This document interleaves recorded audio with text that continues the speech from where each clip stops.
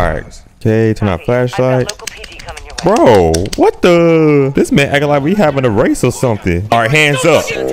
I said hands up. Yeah, don't move. He, he ran to the stash house. You better not be lying to me.